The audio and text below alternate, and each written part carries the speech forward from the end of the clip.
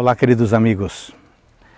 Você sabia que algumas pessoas acham muito estranho o nome de Deus não ser mencionado no livro de Esther? Como vemos no capítulo de hoje, porém, isso nem foi necessário, pois fica muito claro que Deus estava dirigindo tudo desde o começo da história. Podemos ver isso na atitude dos judeus depois que venceram seus inimigos. Quando chegou o dia em que os dois decretos imperiais seriam cumpridos, o povo judeu se organizou para resistir àqueles que queriam tirar suas vidas.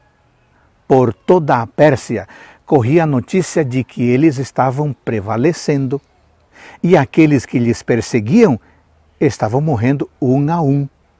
Mas em vez de se apossar das riquezas de seus antigos opressores, eles simplesmente deixaram tudo onde estava.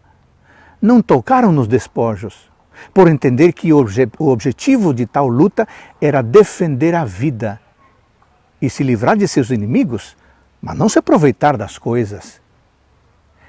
É aqui que a atuação de Deus aparece de maneira triunfante. Ele não agiu de maneira sobrenatural para destruir os inimigos de seu povo, mas quando a poeira baixou e os judeus perceberam que tinham vencido, ficou claro para todo mundo quem era o verdadeiro vencedor.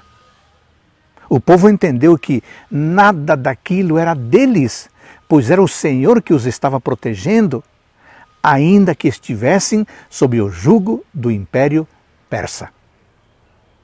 Para provar isso, a rainha Esther pediu ao rei que os corpos dos dez filhos de Amã, que tentaram vingar seu pai enquanto lutavam contra os judeus de Suzã, fossem pendurados à vista de todos.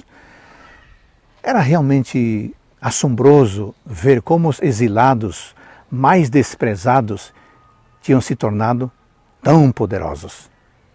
Ninguém podia negar que o Deus deles estava presente e não poderia ser vencido ou envergonhado por nenhum homem, por nenhum povo ou por nenhum rei. Dessa maneira, a verdadeira fé foi conhecida e adotada por muitos em todo o império.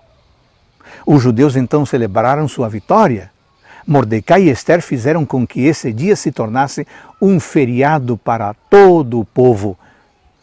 Ele ficou conhecido como Purim e deveria ser comemorado anualmente. O nome desta festa vem da palavra pur, que significa lançar sortes. Essa parceria uh, entre o povo e Deus, Deus no comando, mostrou que Deus é capaz de fazer grandes coisas. Deus provou que estava, estava bem vivo quando usou toda aquela situação para livrar e honrar seus filhos. Era disso que os judeus deveriam se lembrar. Eles contribuíram muito pouco. Quem fez foi Deus. Também somos convidados a lembrar e refletir em tudo o que Deus tem feito por nós. Tanto na Bíblia como em nossa vida, podemos encontrar vários exemplos da bondade e da presença do Senhor.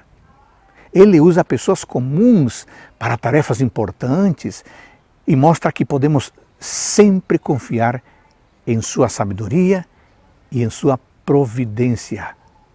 A história de Esther é um memorial de como Deus mantém e sustenta seu povo em todas as épocas e nas piores circunstâncias. Olhe para a sua vida. Há algo que você precisa vencer? Confie em Deus. Entregue-se a Ele e deixe Ele agir em seu favor. Amém.